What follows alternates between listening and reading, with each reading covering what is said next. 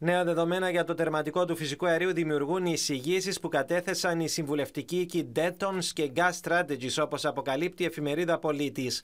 Ανάμεσα στις επιλογές που φαίνεται να κυριαρχούν είναι και αυτή για 100% ιδιωτικό τερματικό υγροποίησης. Δηλαδή, το κράτος δεν θα έχει καμία συμμετοχή στο μετοχικό κεφάλαιο της κοινοπραξίας που θα αναλάβει την κατασκευή και λειτουργία του τερματικού LNG. Δεν θέλω να, να, να επεκταθώ σε όλα τα θέματα τα οποία αφορούν τη διαπραγμάτευση αυτήν καθεαυτή.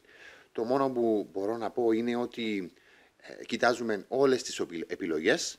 Ε, σίγουρα δεν υπάρχει μόνο μία επιλογή, αλλά υπάρχουν ε, διάφορες επιλογές τις οποίες εξετάζουμε και θα αποφασίσουμε σύμφωνα με το καλό νοούμενο συμφέρον ε, της Κυπριακής Δημοκρατίας. Οι άλλες επιλογές τις οποίες καταθέτουν οι συμβουλευτικοί και αφορούν πρώτον τη συμμετοχή του κράτους με ένα μειοψηφικό πακέτο μετοχών στην επένδυση, κάτι που όμως φαίνεται επίσης να τρομάζει την κυβέρνηση, αφού και σε αυτή την περίπτωση θα το μετατρέψει σε έρμεο των ιδιωτικών συμφερόντων.